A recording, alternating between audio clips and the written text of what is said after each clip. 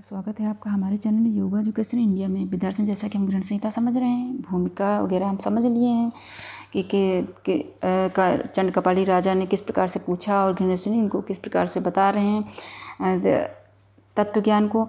तो चलिए अब षटकर्म को आज यहाँ से समझेंगे और अब आज से हम षटकर्म को विस्तार से समझेंगे। इसमें हम पहले सबसे पहले आप नाम नोट करें अच्छे समझें और नाम नोट करें क्योंकि इसमें से बहुत सारे क्वेश्चन आने की संभावनाएँ हैं। तो ध्यान से समझिएगा। और सब कुछ ग्रंथ के अकॉर्डिंग ही है, बाहर से कुछ भी नहीं है। ये भी ध्यान रखना है आपको, क्योंकि कंफ्यूज करने के लिए इधर उधर से कुछ घुमा दिया जाता है। एक वर्ड अगर घूम जाता है तो समझ से बाहर, परे हो जाता है और आंसर हमारा गलत हो जाता है। तो इसलिए अच्छे से ध्यान से समझिए। विद्यार्थियों षटकर्म के विषय में थोड़ा सा समझ लें कि वात पित्त कफ को संतुलित करना षटकर्म से जो वात पित्त कफ असंतुलित हो जाता है, उससे विभिन्न प्रकार के रोग उत्पन्न हो जाते हैं तो सटकर्म का पालन करते हैं हम तो ये वात पित्त कफ हमारा संतुलित होता है। इसके द्वारा वात पित्त का कफ संतुलित रहता है और शरीर विकार रहित करना। अगर किसी भी प्रकार का विकार है शरीर में तो सटकर्म करने से दूर होता है। और आध्यात्मिक मार्ग में अग्रसर होने पर बाधा नहीं उत्पन्न होता है। जब हम सटकर्म पहले कर लेते हैं, और यह भी आपको विद्यार्थी नोट करना है कि घृण संहिता में सटकर्मों को अनिवार्य बताया गया है। हट प्रदीपिका में तो बताया गया है कि जो मोटे व्यक्ति हैं या जो उनके अंदर किसी प्रकार बात पित्त कफ असंतुलित है तो वो पहले सटकर्म करें। तब आसन प्राणायाम वगैरह करें। लेकिन इन्होंने फ़र्स्ट स्थान पर रखा है और सभी को करने के लिए कहा है। उसमें उन्होंने हट प्रदीप का तरह ऐसा नहीं कहा कि केवल मोटे लोग या जिनको कोई प्रॉब्लम हो वही करें। उन्होंने सीधा डायरेक्टली कह दिया है कि वात वात पित्त कप को संतुलित करना है सटकर्म करिए, शरीर शरीर को विकार विकार रहित पहले करिए, और ताकि आध्यात्मिक मार्ग में अक्सर होने में किसी भी प्रकार की बाधा उत्पन्न हो, यानी साधक, साधना मार्ग में आप आगे बढ़ें तो किसी भी प्रकार की बाधा उत्पन्न ना हो। और ये सही भी है विद्यार्थियों, अगर हमारे बॉडी में किसी प्रकार की प्रॉब्लम होगी तो हम किसी भी कार्य, चाहे साधना मार्ग हो या किसी भी सामान्य मनुष्य को ही ले, लो ज़रूरी नहीं साधक हो, लेकिन फिर भी अगर कोई कार्य करता है हुआ तो किसी प्रकार की प्रॉब्लम क्रिएट होती है शरीर में तो वो सही से कार्य नहीं कर पाता है, पूरा फोकस नहीं कर पाता है। तो कितनी अच्छी बात इन्होंने गृह संहिता में गृह ऋषि ने बताया है। और और विद्यार्थियों, आयुर्वेद, ये भी नोट कर लें कि आयुर्वेद और हठयोग त्रिदोषों को असंतुलन जब त्रिदोष असंतुलित हो जाते हैं, यानी वात पित्त असंतुलित हो जाते हैं, तभी व्याधि को जन्म हो, यानी तभी विभिन्न प्रकार की बीमारियाँ उत्पन्न होती हैं, जैसा कि हठयोग के अंतर्गत भी थी और आयुर्वेद के अंतर्गत भी यही बताया गया है। तो सटकर्म करना तो बहुत ही आवश्यक हो गया है, विद्यार्थियों। और यह ना, नोट करें सटकर्म के छा कर्म और क्रम नोट करना है। यह भी ध्यान रखना क्योंकि हट प्रदीपिका में भी कर्म है, इसलिए थोड़ा सा कन्फ्यूज़न क्रिएट करने के लिए ध्यान रखना है आपको कि कन्फ्यूज़न क्रिएट ना हो।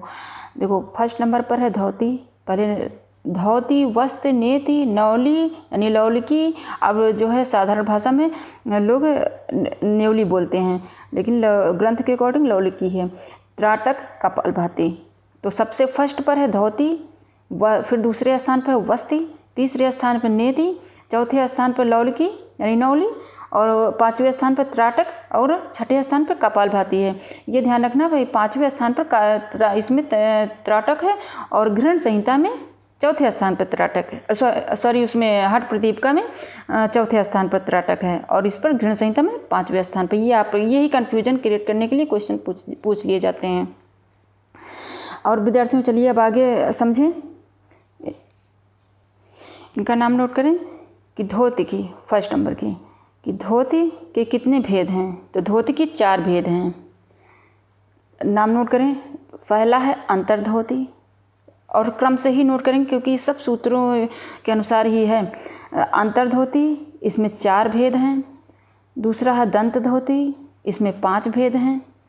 तीसरा हद धोती हृदय धोती इसमें तीन भेद हैं। मूल शोधन में कोई भेद नहीं बताया गया है। सीधा इसको शोधन करने के लिए बताया गया है। तो अंतर्धोती दंत धोती हद धोती मूल शोधन। ठीक?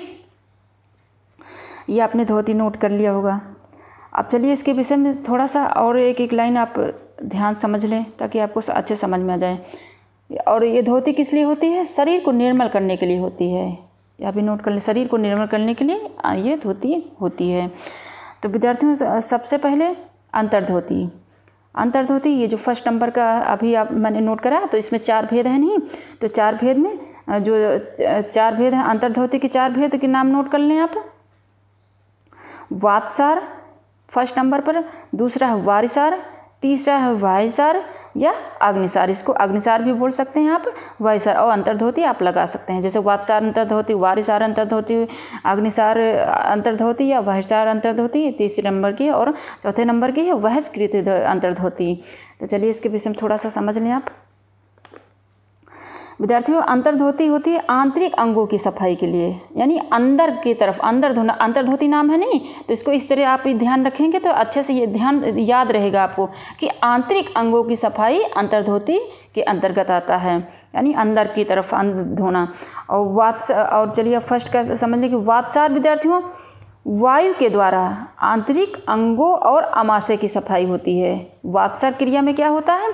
वायु के द्वारा जो हम हवा यानी वायु अंदर खींचते हैं, ऑक्सीजन लेते हैं, वही।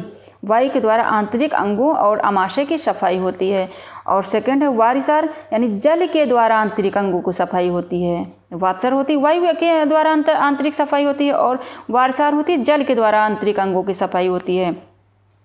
और अग्निसार अंतर्धोती अग्नि द्वारा पेट की सफ़ाई।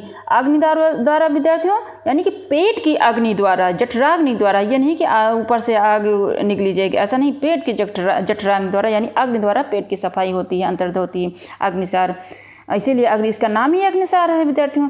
वह स्कृत बहिष्कृत यानी वातसार के समान ही जो ये है, वायु के द्वारा ही आंतरिक सफ़ाई होती है। और इसमें विद्यार्थी थोड़ा सा बहिष्कृत का, थोड़ा सा मतलब समझ लें कि बहिष यानी बाहर, कृत मानी करना या निकालना, यानी वायु द्वारा आंतों की सफ़ाई इसमें होती है। जैसे अब इसके विषय में हम विस्तार से आगे समझाएँगे विद्यार्थियों को लेकिन यहाँ बहुत इंपॉर्टेंट यह वीडियो है और ध्यान से आप समझें और नोट करें।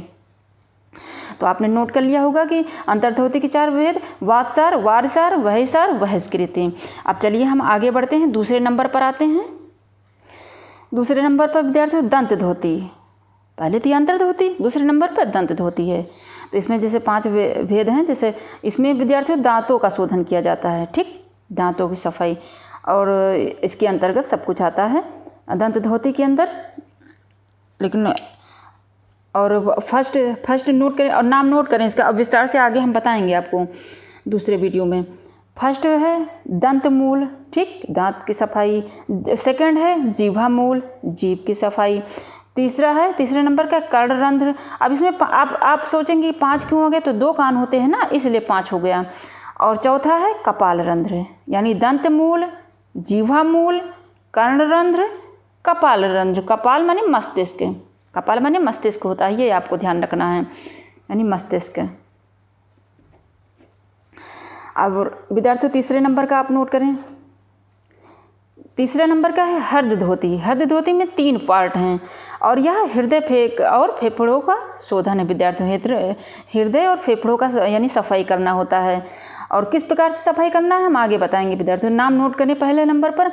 हृदय धोत में धोत में पहले नंबर पर है दंड धोत दूसरा है वमन धोते तीसरा विद्यार्थी वस्त्र धोते पहला दंड धोते दूसरा वमन धोते तीसरा है वस्त्र धोते तो आपने धोती और, यानी आपने अंतर धोती, दंत धोती और हद धोती, जो कि धोत के अंदर, अंतर्गत आता है, इसको आपने नोट कर लिया होगा।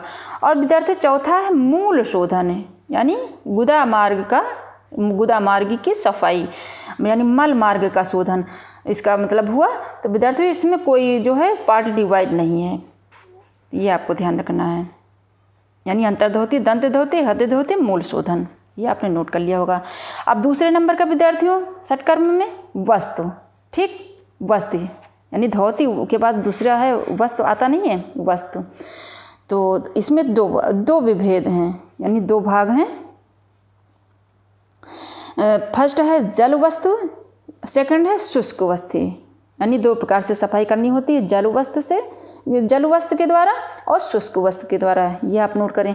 और तीसरा विद्यार्थियों नेति, इसमें कोई पार्ट नहीं है, जिस प्रकार ये धोती वगैरह में है। चौथा है नौली, पांचवा है त्राटक। कोई पार्ट नहीं है। बस इसके विषय में मैं आपको विस्तार से बताऊँगी आगे।